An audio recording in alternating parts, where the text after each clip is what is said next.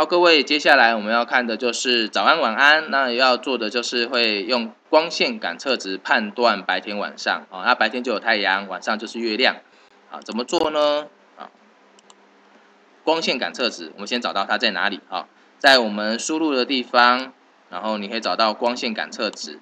那我们首先一开始就先设个变数，这个变数呢就是用 light，按按错字啊，打错字怎么办？重新命名就好了，L I G H T。好，那我一开始在重复线次，不断的去把 light 设为光线感测值。好，下一步呢，我就去检查 light 的数字，所以我会用逻辑，就是把它放进来，再加上数学，呃，不是数学，是也是逻辑。呃，用这个放进来，变数放进来。如果 light 它小于某个数字，啊，这个光线感测值的数字大概就是零到二五五，啊，所以我就先切一半好了，零到一二八，那我就认为是晚上啦。晚上呢，我就来显示呃月亮好了，月亮，好，这样有像月亮吗？好，晚上显示月亮，接下来再复制一个，这个放好放对哦。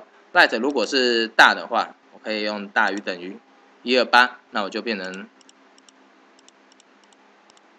太阳。好，那这样好之后，我们来看一下是否成功呢？啊，这个地方就是光线感测值的模拟的样子。如果我现在是很暗的时候，哎，就变月亮；如果很亮，它就变太阳。好，那就可以试试看。呃，这个在模拟光线感测。那它的光线感测在哪里？其实它就是把 LED 灯当做光线感测。那这个其实跟让呃会让有些有些人觉得很奇怪，LED 灯不是发光的吗？哈，其实 LED 灯在不用的时候，你照光下去，它其实会那个它会产生电流。所以我们这个 microbit 它其实就是利用这个原理，就是让 LED 灯照光就会产生电流了哈。所以它其实是用 LED 灯去感光的。因此，等一下你在测试这件事情的时候，你就去遮那个 LED 灯。你就会知道说，诶，它现在有光，呃，它现在是黑暗，是还是有光的情况？OK，那这个就是自己要下载去试试看，我去遮光看一下哈。